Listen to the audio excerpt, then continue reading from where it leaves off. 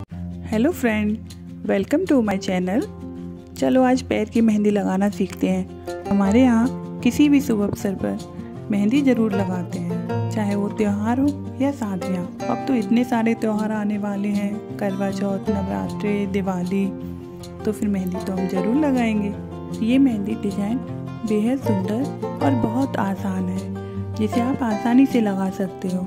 अगर ये वीडियो आपको ज़रा सा भी पसंद आए तो प्लीज़ कमेंट करके ज़रूर बताइएगा मुझे। Thank you please full watch this video